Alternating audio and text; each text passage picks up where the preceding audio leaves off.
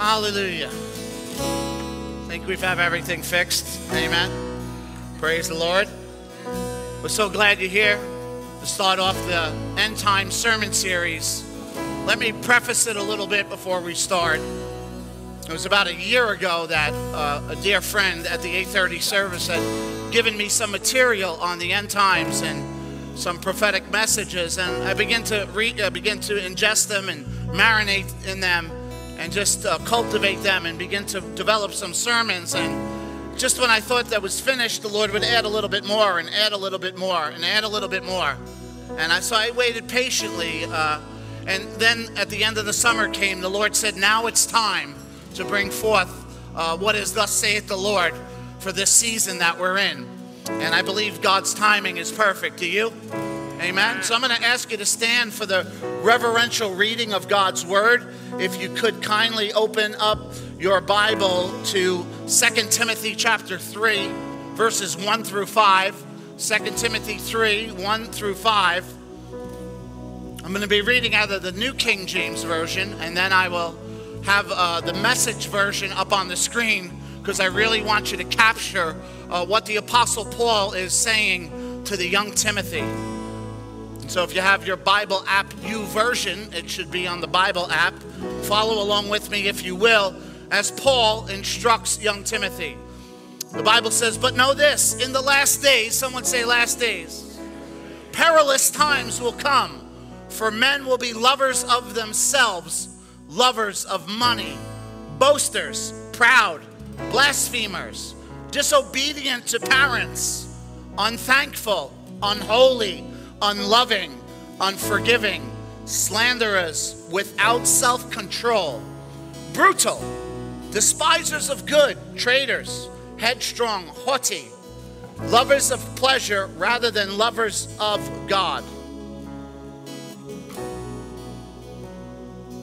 having a form of godliness, but denying its power.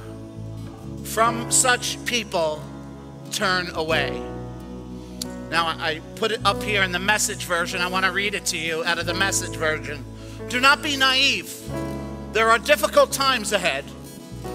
As the end approaches, people are going to be self absorbed, money hungry, self promoting, stuck up, profane, contemptuous of parents, crude, coarse, dog eat dog, unbending, slanderous, impulsively wild, savage, cynical, treacherous, ruthless, bloated windbags, addicted to lust and allergic to God. They'll make a show of religion, but behind the scenes, they're animals. Stay clear of these people. Phew. That's a lot. Let us pray. Father, I thank you that you're equipping your church with the techniques that will be needed as we approach the second coming of Christ. I thank you for your word, for it is infallible, 100% truthful. I thank you for the power of the Holy Spirit that resides in us. I pray, Lord, that the Spirit and the Word would come together for the next several weeks, Lord, to help equip us to evade any internal or external destructions. Allow us, Lord, to become holy as you are holy. Give us eyes to see and ears to hear what the Holy Spirit is saying to the church at this hour. We ask for your blessing upon it in Jesus' name. Amen. You may be seated. So, we're going to start off the series very light this week. Amen. Very light uh, I want to ease you into the end times. Amen.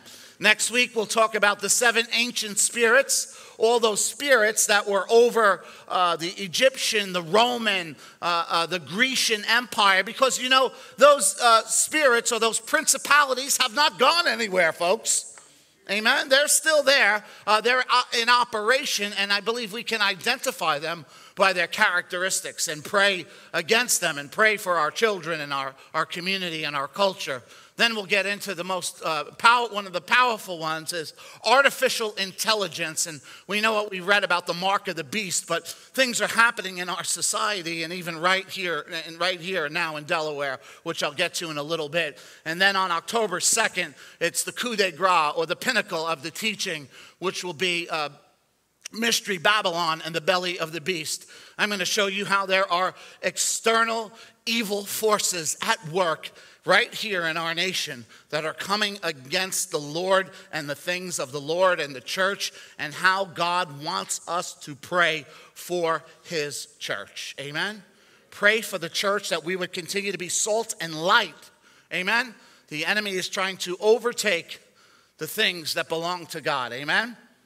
So, the phrase the last days or the end times uh, is synonymous. It's spoken or written about very often. It's a term found in Scripture to describe the prophetic time uh, in some scriptures before the return of Christ. Uh, now, there are some other references, and I'll give you an example 2 Peter 3 3, knowing that first scoffers will come in the last days, walking according to their own lusts. Now, Peter had a reference because there's uh, two little dispensations of the end times. One, I'll explain to you that uh, when, when the church was birthed in the upper room by the Holy Spirit in Acts chapter 1, Acts chapter 2, uh, there was Jesus have gave a word that the, the temple will be destroyed. And the, the people that were living in, uh, in jerusalem at the time would be eradicated or dispensed. And no one would be living in jerusalem. Actually no one would be living in israel for 1878 years until the rebirth of israel in 1948 Okay, so there's two dispensations. One, the church's birth, and Jesus says that, that, that this land will no longer be inhabited. And what happens? In 70 AD, the Roman army comes, destroys the city, and it would not be inhabited for 1878 years. Is that amazing? That's just what Jesus was alluding to. So when they talk of, in some of the scriptures, Peter refers to uh, the prophet Joel, in the last days, this would happen and that would happen. There was a dispensation he was referring to, which is from the, from the birth of the church to when the Roman Empire came in on, under, what, what's his name, Tom? Vespasian? Is that? Vespasian, he came in and they burnt it all to the ground and said, No one's going to be here anymore. And that's exactly what Christ said. So there's a reference to that portion of end days, but also there is a second portion where we hear in Scripture. Now, Jesus gave two sermons, one on the two, two big sermons, one on the Mount of Olives and one on, uh, one on the Sermon on the Mount. The Sermon on the Mount is from uh, Matthew 5, 6, and 7. It's called the Beatitudes, right? Or, or don't have an attitude, right?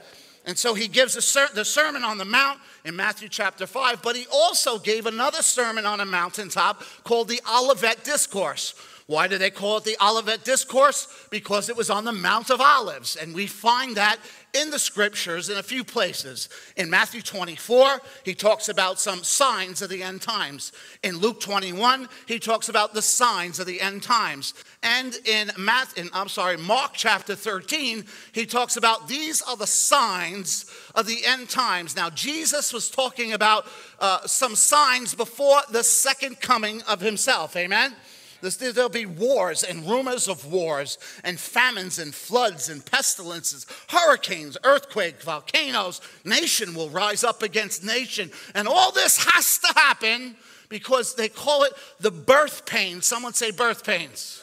The birth pains of the Messiah. Come on, ladies, you know when the baby's coming. Amen?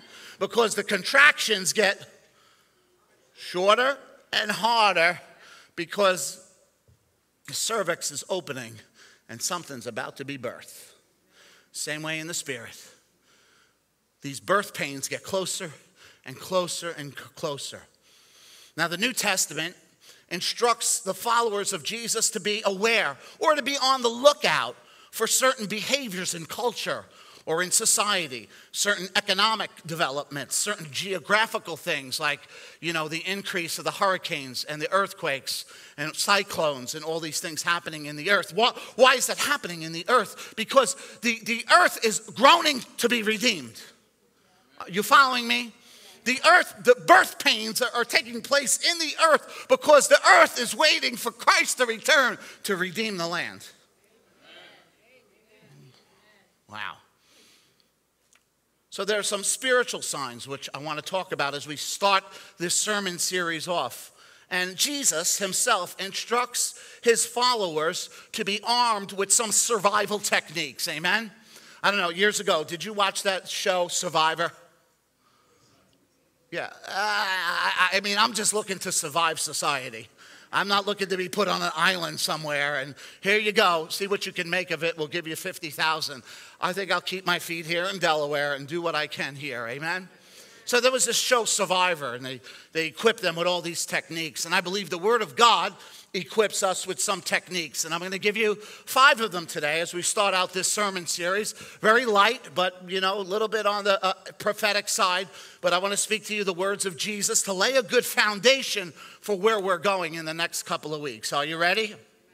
Number one, Jesus says, keep your eyes open. Amen? Keep your eyes open. Matthew 24, 42 through 44 on the Olivet Discourse. He says, Watch therefore, for you do not know the hour your Lord is coming. But know this, that the master of the, if the master of the house had known the hour the thief would come, he would have watched and not allowed his house be broken into.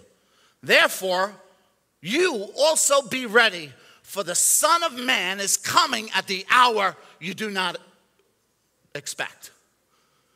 Jesus' first word to the disciples Boys, keep your eyes open.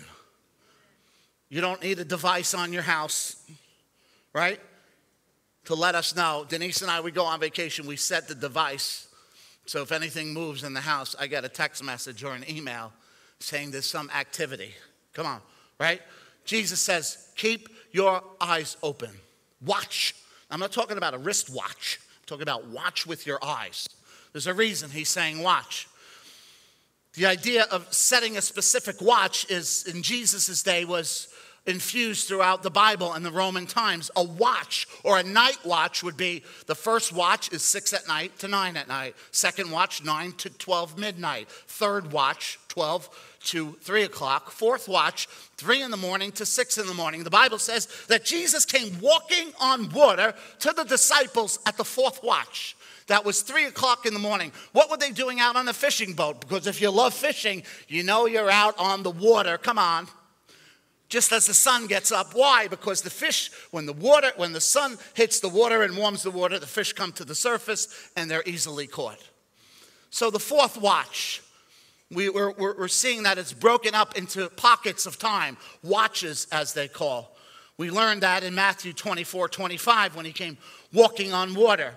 Watch in Greek means to be sober, to be alert, to be awake.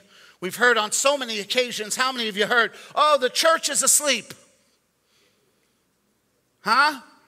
Amen. The church is asleep. The admonition here is to remain alert to the fact that the Lord can return at any time. The hour when we least expect it, Jesus said. Through technology now, we have safety cameras, even in the church. Why do we have them in the church? Someone said. I said, for the safety of our children. That's why. Because we want to keep a watch and watch over our children. We want to watch over our checkbooks too. Amen? How many people still go through line items on their checking account? And you'll, you'll notice someone helping themselves to your money.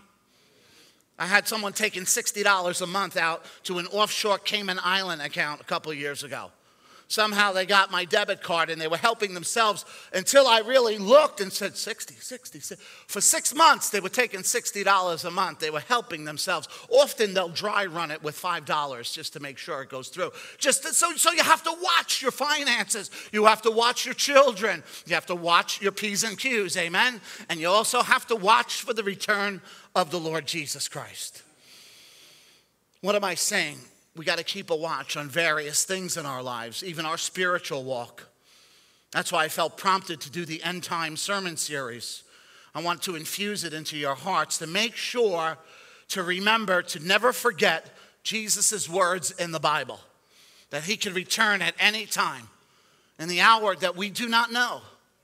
So we are to be on the lookout for these things, or what I call signposts that can easily identify that the signs of the times. Have you ever been so codependent? And my wife's going to laugh. Have you ever been so codependent on the GPS that, you know, uh, what I done? I turned the volume down because I can't stand the voice, right? And say, turn left, turn right, make a U turn. And I'm just like, oh, please. And I turn it down. And what happens? I go right past the exit. right? Have you done it? I've done it. And my wife says, What are you doing? You're not watching. I say, I can't watch the road and the GPS at the same time. So, how do we keep a watch and watch and be spiritually discerning? I wasn't watching. The fact is, I wasn't listening. We must set up watches in our life and be sensitive to the Holy Spirit with the signs of the times that among us.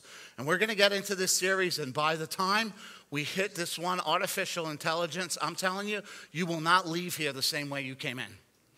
Because the Holy Spirit is going to be revealing some stuff to me throughout the year. And I've been taking my time and documenting. And the way He put it together and crafted it, it's remarkable. I give God all the glory. Amen. But He's telling us, folks, Parkview, the church, watch. For look up, your redemption draws nigh. Point number two, that second word we hear Pastor all the time pray. Number two, pray. Number two, pray. Jesus said at the Olivet Discourse in Mark 13 33, take heed, watch, and pray.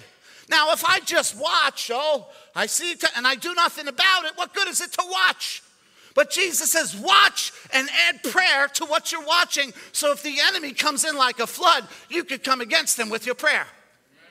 So there's a reason I'm watching to procure me to do some action, which is to pray.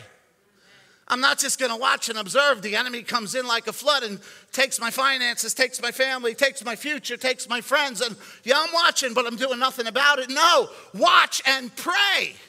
Prayer is a weapon. Praise is a weapon and it thwarts the work of the enemy. Amen? He says, Watch and pray, for you do not know when the time is. Like the man going to a far country who left his house and gave authority to his servants, that's us, and to each his work, and commanded the doorkeeper to watch. Verse 35 Watch therefore, that you not, do not know when the master is coming in the evening, at midnight, at the crowing of the rooster, or in the morning, least coming suddenly he finds you sleeping. Whew. And what I say to you, I say to you all watch, watch. Jesus says not only to watch, but to pray. Take heed. He uses the word take heed in Greek. This should get our attention, amen? Several times when Christ was praying, the disciples fell asleep. They said, Oh, this is so boring. It's so boring. And Jesus comes, he says, Boys, I just asked you to pray for an hour. Peter, wake up. What's wrong with you? He was sleeping at the most crucial time in the Garden of Gethsemane. Don't you be sleeping over there. I hear you going there. I'm watching you. Blepo, the Greek word is to be aware, to behold, to perceive in regards to sight, to open your eyes. Jesus follows that up and combines it with the word prayer. You know, uh, pray about what you see. Come on. Hey, where's, uh, hey, Liz, I saw that, uh, y'all went to dinner, that new place, right? I saw the post. I was just putting the finishing touches on the message, artificial intelligence, and y'all go on Facebook and put a post with those robots serving them dinner. Oh, you weren't there. Okay.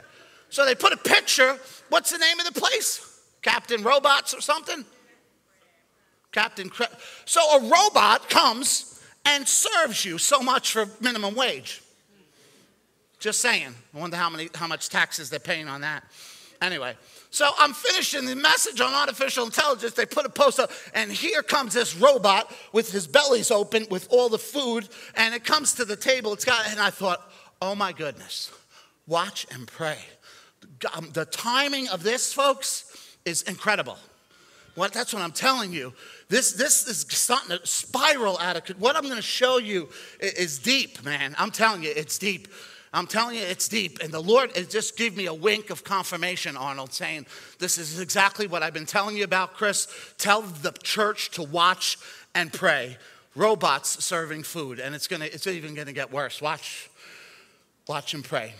If we watch without praying, we'll certainly see the enemy coming, but do nothing to exercise the power to defeat him.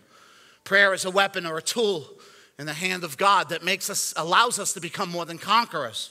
It's important, folks, not just to maintain our relationship with Christ, but to grow in our relationship with Christ by having an active prayer life. That's why we have so much prayer going on at the church. A few last year, John, I went to the doctor. I was very lethargic and very like lack of energy, and for me, that's odd, right?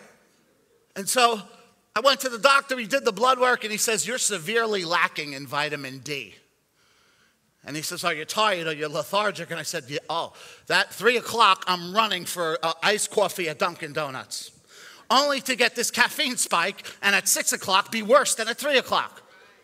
Come on. Am I telling the truth? So I was relying upon this caffeine when what really I needed was vitamin D. And I went to the store and I got vitamin D. Now I don't need Starbucks or Dunkin' Donuts at three o'clock because what I'm taking in is energizing me. What am I trying to say? Prayer will energize your spiritual life. Prayer has the same effect, coincidingly, that, that vitamin D does. It helps energize me. I wake up in the morning, I meet the Lord for some prayer. I have some prayer for afternoon, for lunch. I have some prayer at three o'clock. I have prayer over my meal. I have prayer at night infuse some aspect of prayer into your life so you're not only watching, but you're praying. Amen? This is what Christ said to do. These folks, watch and pray, is part of the antidote for the end times. Prayer used to be just a fill in activity for me, but now it has become a priority in my spiritual exercises. We need it for spiritual survival in the end days. When we pray, we stay mentally alert, pray the scriptures. I can't believe all the material that is just flying out of the prayer room. Every time I walk in there, we've bought little pamphlets and booklets for y'all to take home to energize your prayer life and jumpstart your prayer life. And so I can't believe every time I go in there, the shelves are empty. Praise the Lord. That means people are praying. That's my job to get you closer to Him, not to be Him for you, come on, but to get you closer to Jesus. Amen? And so you, I'm so glad y'all utilized all of those prayer helps. Watch, pray. Number three, anti temptation armor. Anti temptation armor. Christ made a very significant statement to his 11 disciples there. Christ said to Peter, Listen, Peter, you're going to mess up, dude. I'm telling you, you're going to mess up. But let me warn you, Peter, about your spirit and your flesh going to war. There will always be a conflict. Matthew 26, 41.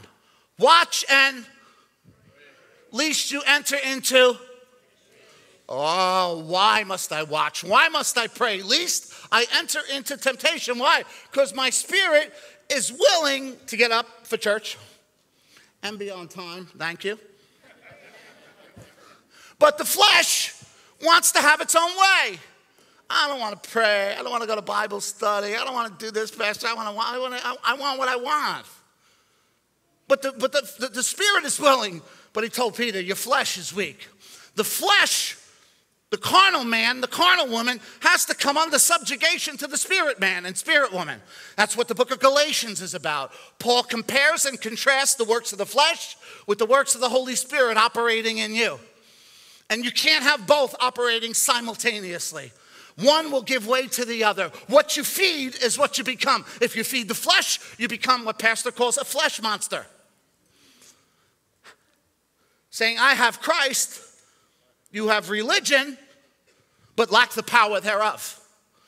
But when you're feeding the Spirit, you're walking in the Spirit, the fruit of the Spirit love, joy, peace, patience, kindness, goodness, gentleness, and self control. You have that all operating, and it's evident when someone says, I see, I saw you at the gas station. You weren't acting like a Christian.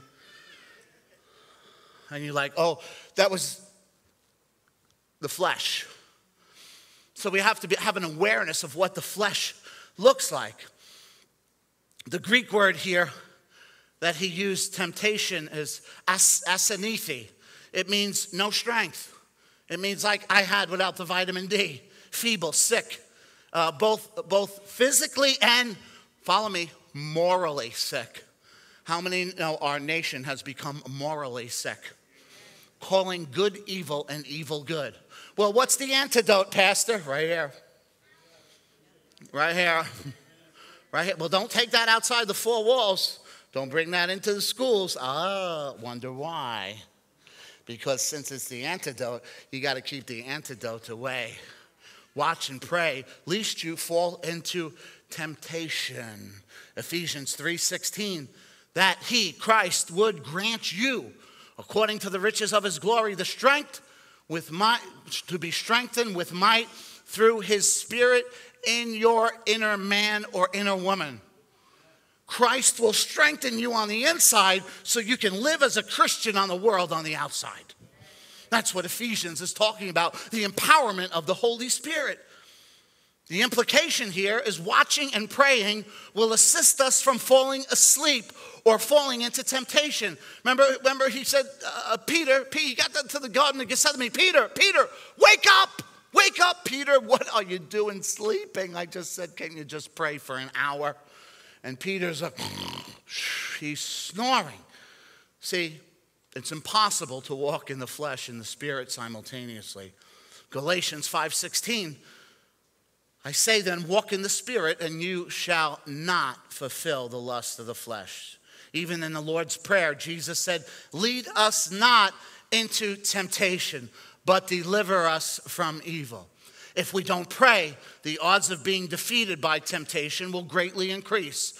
Prayer, listen to me, prayer places a temptation roadblock and can serve as an anti temptation piece of armor to strengthen you on the inside, or as Paul refers to, to strengthen your inner man or inner woman. And that only happens through prayer. Amen?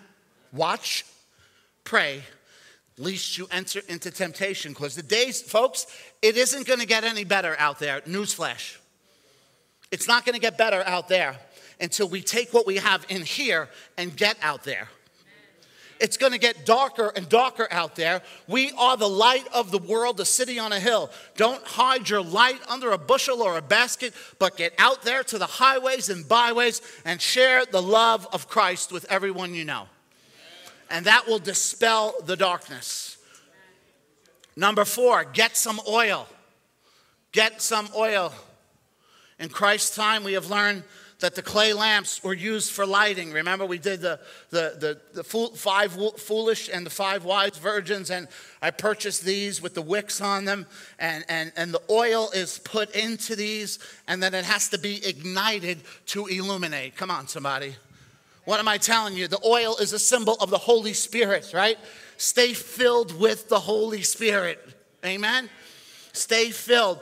Luke 12, 35, the scripture says, Let your waist be girded, means keep a belt on. Let your waist be girded and your lamps be burning. If our lamps aren't burning, when we go into the darkness, we won't shine the light. So we need to keep and get some oil belts fastened and oil to see where we're heading because if we watch and we pray and we avoid temptation, God will certainly send us on an assignment. And our assignment, we need to have oil when we go. Unlike the five foolish virgins that we talked about over the, over the summer, we talked about five that were ready and five that weren't ready. The five that weren't ready ran to an all night Wawa, come on, to try and get some oil. But at that time, Jesus said the door is only going to be open for a short amount of time. So come in now. They said, No, hold on. We're unprepared. We have to go get oil. Jesus said, Vaminos, see you later. We closed the door. You aren't prepared.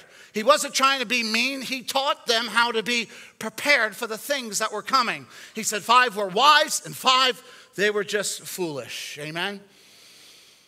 Some had some oil, some did not. Some ran at the last minute. We know that the oil represents the Holy Spirit. Our lamps spiritually is a metaphor for our spiritual light shining within us. It's why Christ referred to you and I as the light of the world. Who remembers the song, This Little Light of Mine? Okay. See, you have plenty of choir rehearsal people here. They could sing, they're just not telling you. What must we do as the church? Keep the oil, the anointing of the Holy Spirit, the zeal for God burning in our hearts, and, and feed the oil. Jesus encountered the two men on the road to Emmaus in Luke 24 32. Watch what it says here. And they said to one another, Did our heart not, not our heart burn within us while he talked with us on the road? And while he opened the scriptures to us, so these two guys are walking on the road, and Christ appears nowhere. The resurrected Christ appears nowhere to them and starts to talk to them and minister to them, and they're saying, Something's about to set me on fire. Why? Because they had the oil, they just need the igniter and they had one touch with the ignition switch, who was Christ, and they were like, "Oh man, did you hear what he said? Man, that's why we come back, we come to church because the word of God doesn't return void, amen." And we hear the word and it activates the Holy Spirit in us and say, "Man, I want more oil." I want more of that. I need more. I want more. I crave more. This is the only thing. When you eat more of this, you get hungrier for it. It's the opposite of food. When you eat food, you get full and you push away from the supper room. But when you come into God's house and you eat the bread of life, you get hungry and you get to the upper room. Come on. Amen? Okay. Jesus ignited that oil that was residing in their spirit and woke up something in their hearts that they were like, who was that? Turn to your neighbor say, neighbor, check your oil light. The Bible says in 2 Corinthians 4 7, we have a treasure. Watch this. We have a treasure in earthen vessels. Do you realize, as you're a born again believer, the Holy Spirit, the third person of the Trinity, resides right inside of you? I still can't fathom that. It's remarkable that God would take up residence, a dwelling place, Ephesians chapter 3. He takes up a home in my heart. You got to allow Him to renovate it, just like them home shows. That's right. A little renovation sometimes will do us good. Amen? He lives inside of us. The Bible says the same power that raised Christ from the dead lives inside of your mortal body. Amen? Whew. God places an infinite treasure inside of us. Folks, keep your oil full. Go to the ignition switch, get it lit, and turn it into spiritual fuel. Don't let it go rancid. Have you ever went in the closet and had rancid oil? Amen? He's invested part of himself inside of us. It was last year, Denise, if you remember, the winter season was in full swing. And I woke up and Denise is like, It's freezing in here. I'm like, Uh oh. I ain't saying nothing, but I have an idea what's going on. I said, Let me go outside and check the oil tank. So I get dressed up, I go outside, and we don't have gas across the street yet, right, uh, Jay? We just, some, someday we'll have it. But I have this big oil tank in my backyard and there's this little thing that goes up, a spout, and a little bobblehead that's in it. And I look, I look at it and I'm like, it's half full. And I'm inside trying to figure it out. Suddenly the Holy Spirit said, You better go check that again. So I went outside, Gene, and I unscrewed the top. And I took that little bobblehead and I touched it and it went. And I hit the tank and it was empty. I said, Ay Dios mijo. I'm in trouble with the boss. I said, honey, you better break out the electric heaters. Our tank ran out of oil. How did this happen? It's like, let me, let me explain. let me explain. Not my fault. I screwed, and you know, I promise it won't happen again. I called up Fredericks because you guys had to start it over again, uh, prime the pump. I had to call the oil company, come. But I learned the lesson both in my house and in my heart to keep the oil tank full. Amen?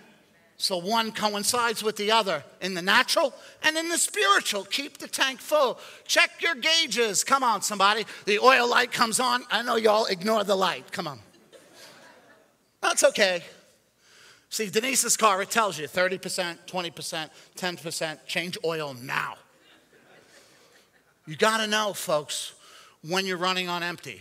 As I said, it's not going to get any lighter outside, it's only going to get darker. We are called to be the light. Amen? Keep oil in your tank. Be ready for the Lord to ignite you. Yield and cooperate with the Holy Spirit. Allow Him to open up your spiritual eyes. You get in the Word of God. Allow Him to teach you the scriptures. He is our best teacher, He lives inside of you. Allow Him to see and allow Him to allow you to hear the purposes of Christ in your life. God has placed the greatest gift inside of you and I in the person of the Holy Spirit. Okay, number one, watch. Number two, pray. Number three, anti temptation armor, right? Number four, get some oil. Number five, take it to the bank. Now, we went over the parables this summer, and a considerable amount of the parables conceal instruction from Jesus on how to be a wise steward. Everybody say steward. And how to handle our finances uh, and make proper choices in life. We looked at this parable called the parable of the talents and and what do we do with what God has given us? What do we do with what God has given us? He goes through the parable. He gives one five talents, two talents, and one talent. The guy with five invested it, the guy with two invested it for a return. And the guy with one took it and hid it. And Jesus said, Why did you take what I've given you and hide it and not at least put it in the bank to get any interest and get a return? The storyline or the bottom line is to invest wisely in what you have in order to multiply it into having more.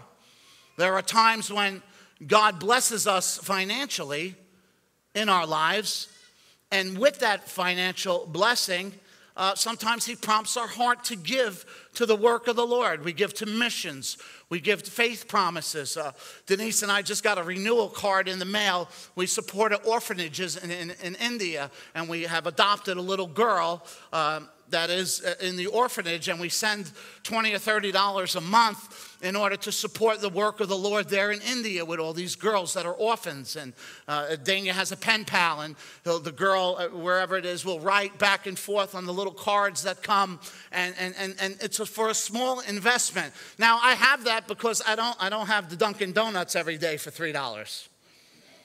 Do you see stewardship? What the Lord's teaching us about stewardship. I, I, I, so appreciate all of your heart and your sacrificial giving and how you give so adamantly to the Lord and how you give timely to the Lord. It enables us to do what we need to do here in this church to launch different ministries, to pour in to the children, to bless the youth group, the middle school, the young adults. Everything we do is because you have been faithful with what the Lord has given you. Amen. Acts 20, verse 35 says, I have shown you in every way, laboring like this, that you must support the weak. And remember the words of the Lord Jesus. He said, It's more blessed to give than to receive. See, giving might empty your pocket, but will never empty your heart. Amen. And the more we give, the more we pour out, the more God can pour into us. And his cup is bigger than mine. Amen. I thank you for your generosity in your heart, the way you serve the Lord. Some people serve and give till it hurts, amen? And sometimes it costs us more than we could ever ask or think. Scripture indicates that financial increase can be used for the kingdom of God. We learn that the tithe belongs to the Lord. Essentially, I have learned that everything I have belongs to the Lord. I've gotten beyond the tithe. I just say, Lord, it all belongs to you. So there's not, not even a question of, of any of that. Why? Because I've matured into that place of knowing that the house, the car, everything, the church, everything belongs to the Lord. I'm just a steward. you know, and I render to the Lord what the Bible says to give because you know something? If it's all His, when the bills come in, guess whose the bills are? You got it. They belong to the Lord. And I don't have to fret or worry because I'm faithful in the area where God asked me to give and to sow and to be an extraordinary blessing. We all do that. And so when my bills come and say, I don't know how this is going to work out, I, oh, by the way, Lord, this is not my bill, it's your bill. See how you transfer ownership when you're obedient? Amen. Christ took a lad's lunch, he took a young boy's lunch. He multiplied it and fed thousands and the little guy have 12 he had 12 baskets of leftover. Why? Because i've learned this hear me now. What you let go of determines what god can bring you. If you hold on to it he can't multiply it. The miracle of multiplication is letting go of what you have so he can add to it. Amen? The need was met and the multiplication miracle continued. Investing is not wrong but we have to use extreme caution, prayerfulness, and wisdom. Jesus teaches that a portion of increase is used so the kingdom of God can advance. As I said, giving never empties my heart. It may hit my pocket, but it doesn't hit my heart. We pour out so God can pour in. I tell you, folks, as we get closer and closer and closer to the end of days. And I don't know when it's coming, and I'm not here to scare anyone or to persuade anyone. Jesus even said he doesn't know the day and hour, only the Father knows. Amen? Only the Father knows. But he did say there are signs of the times that are among us earthquakes, famines, wars, rumors of wars. We see the birth pains of the Messiah becoming so evident. And then the next couple of weeks, I'm going to show you how those ancient spirits are operating. I'm going to show you, as it is in the book of Daniel, where he said knowledge will increase, and this technology and the mark of the beast, and how robots are going to play a big part in that. The Bible says in the book of Revelation, they made an image, and the image came alive and started to speak. You hear what I said? An image, an image, an icon, an image, imago a statue, something came alive and it began to speak, and the beast gave power to the image. We're there. We're there. We're there. I'm telling you, we're there. When robots are serving me lunch, that's the image, David. It's, it's probably saying, Can you pay that bill? It's now it's not only serving, it's speaking. Come on. Who's got a phone? Let me see.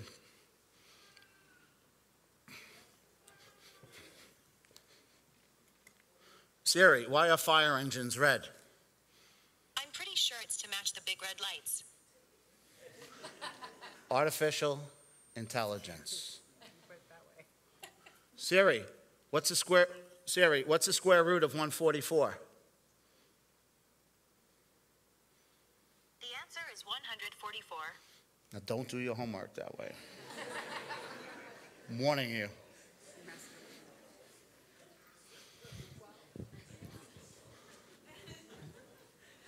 I'm telling you, folks, we're beyond there. We're beyond there. I'm telling you, the Holy Spirit has given me some deep stuff. And I held on to it for a year. Because I, I, I, always will be obedient and wait on the Lord. And then the Wednesday night teaching, I can't teach it here because of the kids on Wednesday night, October 2nd. But I'm telling you, it will mess you up. It will mess you up and all of a sudden the scales will fall off your eyes and you'll see it for what it's worth because it's the Word of God. I'm not making it up. I'm not a conspiracy theorist. I'm going to give you the Word of God and let the axe fall where it may. I'm going to give you the truth of God's Word and allow the Holy Spirit to filter it through your spirit so you can say, wow, we are spiraling eh, exceedingly like a speeding train towards the end of time, towards, towards the end days. Are we, are we there yet? No, we're not. But we're seeing birth pains and we're seeing some things come alive. If the worship team would come. So, what I want to do right now is uh, ask you to exercise your faith in a small way. I was contacted by Convoy of Hope last week, and they had asked, uh, Could you take up an offering for the people in the Bahamas. Um, and so I thought, you know what? I wanted to do it last week, but that altar call was amazing. Amen. And so I waited, and then lo and behold, the fifth point of today is take it to the bank, right? And so I think the Lord, again, is sovereign.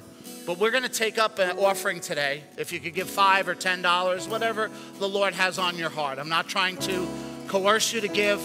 I want you to give as the Holy Spirit leads you. If we all gave 10 bucks, we would it would be great. Amen. But they're in the Bahamas right now, and they're helping put people's lives back together.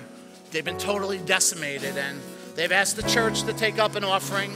I don't have my wallet on me, but Denise, make sure we, we give something, please. And so we're going to ask you to sow a seed. We're going to get it to Convoy of Hope by Wednesday so that they can, they can bless, bless those people who've lost everything. It's one way the church can be salt and light. Amen. That they'll know that Jesus is with them there. They shall know them by their fruit.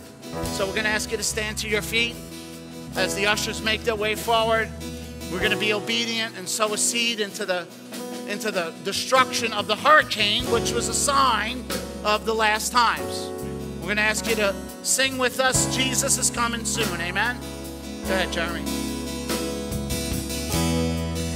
Jesus is coming soon. Call back the sinner. Call back the sinner. Wake up the saint. Let every nation shout of your faith. Jesus is coming soon. Like a bride waiting for her groom, We'll be church ready for you. Every heart longing for our King we sing, even so come, Lord Jesus, come. Even so come, Lord Jesus, come. We sing, we wait for you. So we wait, we wait for you. God, we wait, you're coming soon. So we wait, we wait for you. God, we wait, you're coming soon. So we wait, so we wait,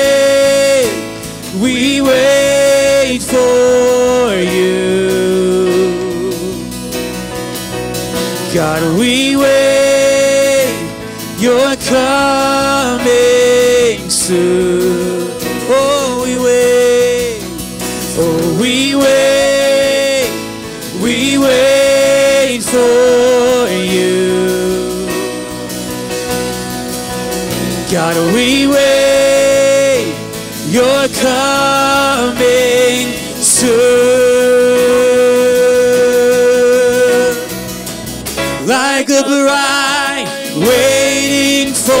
her groom.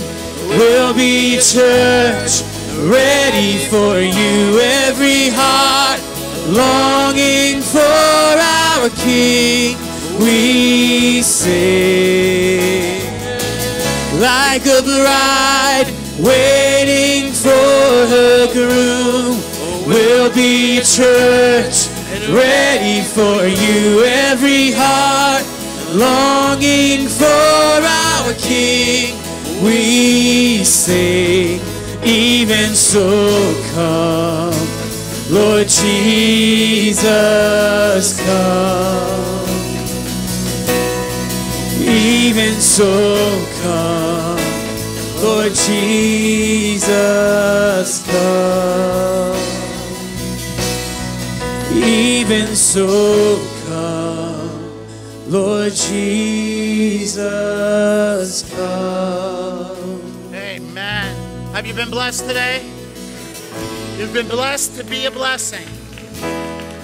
As I said, I'm just coming a little light today just to get us moving forward a little bit. Watch. Say it with me. Watch. Pray. Anti temptation armor. Get some oil. Take it to the bank. He'll never let you down. Amen. God bless you. We'll see you during the week. Don't forget to come out with the kids on Wednesday night. They will be blessed.